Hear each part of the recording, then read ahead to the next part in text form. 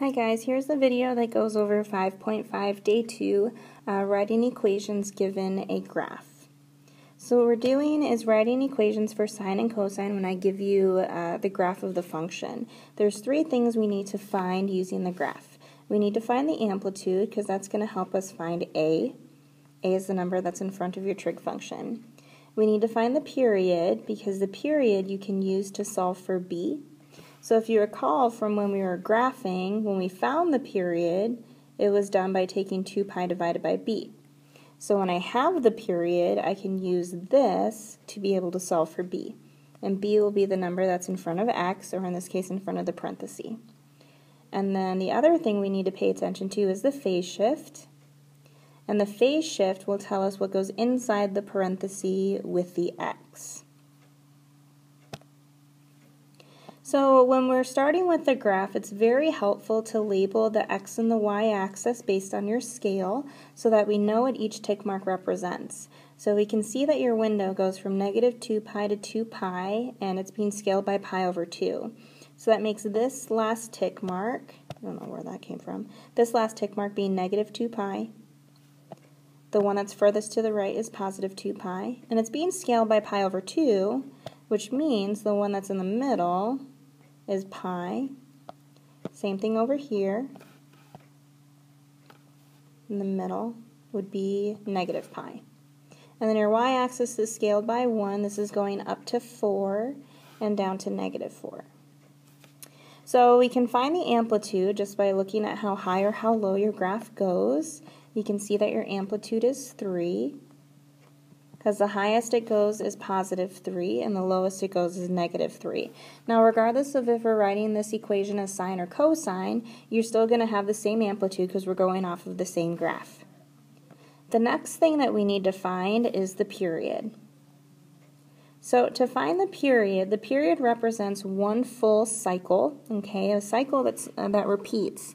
So you're either looking for a cycle of sine or you're looking for a cycle of cosine. So your cycle of sine looks like this, where it starts on your x-axis and then goes up, comes back down, and then lands back at zero. So that is one cycle of sine.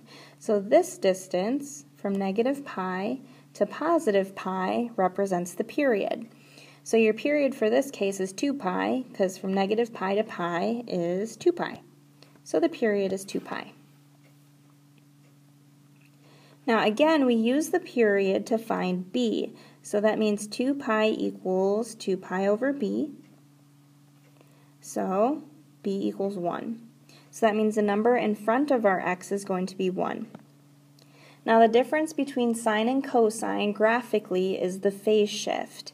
Um, so what we want to do is we want to find the phase shift for sine, and then that'll help us write the equation for sine. And then we want to find the phase shift for cosine, and then that'll help us write the equation for cosine. So if you look back at the directions, what we're trying to find is the least positive number c, and c is what's used in the phase shift. What that means is, is that you are looking for the phase shift to the left of the origin. So sine normally starts at your x-axis and goes up. So you're trying to find the first portion of this graph on the, to the left of the origin that starts on the x-axis and goes up. So again, this is your cycle of sine. So normally, sine starts at the origin, but due to a phase shift, your graph is now starting over here. So that means your phase shift for sine is going to be negative pi. Because normally it starts at 0, 0, but now for this graph, our cycle of sine is starting right here at negative pi. So there's your phase shift for sine. Now that we have the phase shift for sine, we can go ahead and write the equation, for sine anyway. So I have y equals a, which is your amplitude, so that's 3, sine of b, which is just 1, so 1x,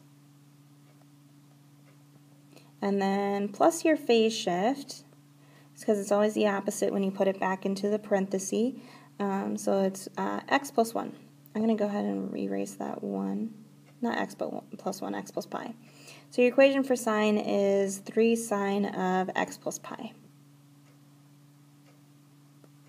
Now to write the cosine function, we need to find um, one cycle of cosine. So I'm going to go ahead and erase what I have over here so we can look for cosine. So normally cosine starts at, starts at a peak and then goes down. So here's one cycle of cosine. So on a regular sine graph without any phase shifts, that cosine, uh, sorry, I meant cosine, I said sine. On a regular cosine graph, your graph starts on your positive y-axis. But due to a phase shift, our graph is now over there. So right here is negative pi over 2. So your phase shift for cosine is negative pi over 2. Okay, now that I have my phase shift for cosine, I can go ahead and write the equation for cosine. So I have y equals a, so my amplitude is still 3. Cosine, my b is still 1, so that's x, and then plus pi over 2, since it's always the opposite when you put it back into your trig function. And there's your equation for sine and cosine that represents this graph. Alright, let's do another one. So this one's scaled a little bit differently. So we're used to seeing your x-axis being scaled in terms of pi's, but this just goes from negative 4 to 4. So let's go ahead and label it. So this last tick mark is negative 4. This one over here is positive 4. Everything in between is being scaled by 1. So this is negative 1, negative 2, negative 3, negative 4. 1, 2, 3, 4 and then your y-axis goes from negative 6 to 6. So sometimes it's helpful to actually label all your tick marks, especially when you're trying to find the phase shift. Um, so your amplitude is how high or how low your graph goes. You can see that your graph goes up to 5, so your amplitude is 5.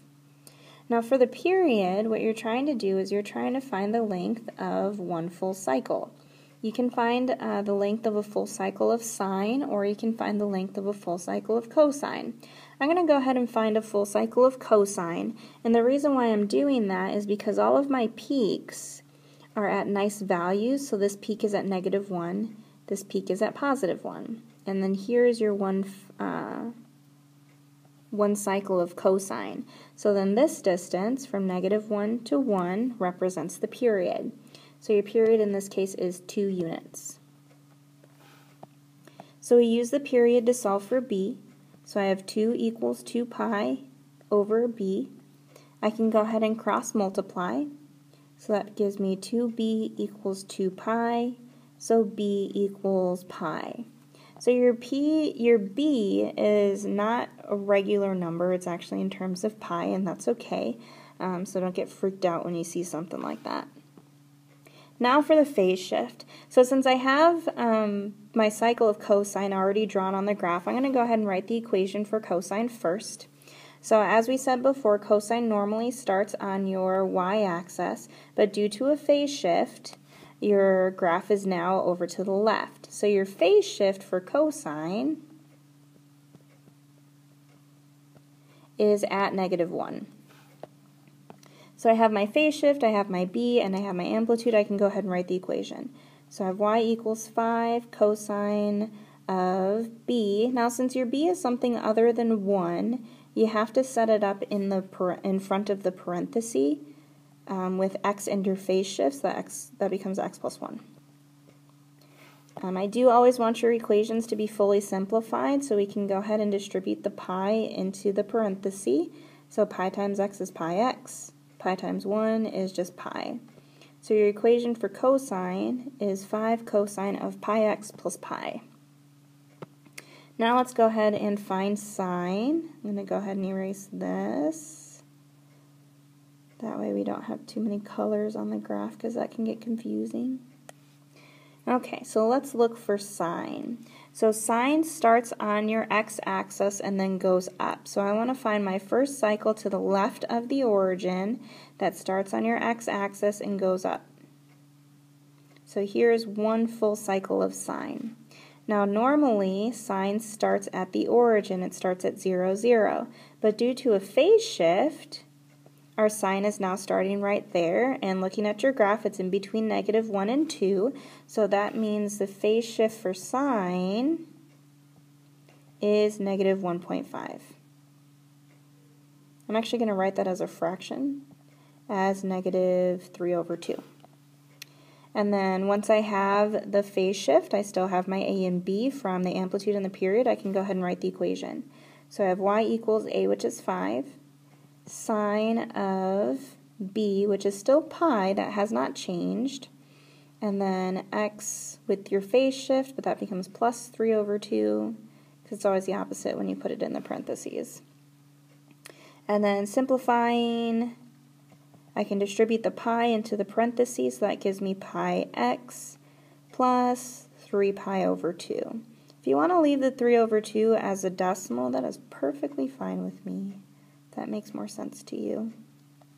And that is your equation for sine and your equation for cosine for this particular graph. All right, hope that helps.